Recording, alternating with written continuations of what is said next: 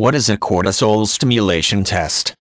A cortisol stimulation test, sometimes known as a Synacthen test, is used to investigate the production of the hormone cortisol. Cortisol is normally released by the adrenal glands, located on top of the kidneys, in response to a hormone known as adrenocorticotropic hormone, which is produced by the pituitary gland in the brain.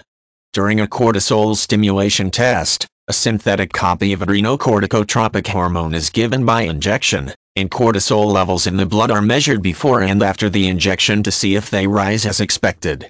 If low cortisol levels are found after the test, this could indicate a problem with the adrenal glands.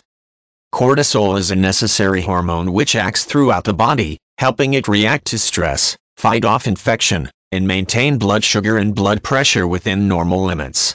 If the adrenal glands are not functioning properly this can lead to low cortisol levels, which are associated with a serious condition called Addison's disease. In Addison's disease, symptoms affect the whole body but include tiredness, dark patches on the skin, low blood pressure and nausea. The risk is that, without treatment, a stressful experience such as an infection could make symptoms suddenly worse, leading to a collapse which could be fatal. A cortisol stimulation test is useful to help diagnose the disease. There are short and long versions of the cortisol stimulation test. In the short version, cortisol testing involves having a sample of blood taken from a vein to measure cortisol levels. Next, an injection of synthetic adrenocorticotropic hormone is given, into a muscle or vein. After waiting for around half an hour, a second blood sample is taken and cortisol levels are measured again to see if the adrenal glands responded normally to the injection.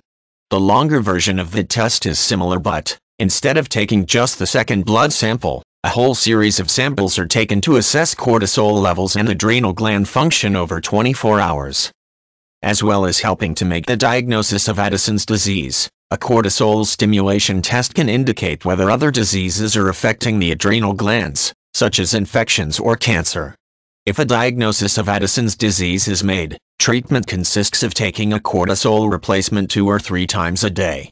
Different doses are used, starting the day with higher morning cortisol levels and ending with lower evening cortisol levels, in order to mimic the pattern found in most healthy people.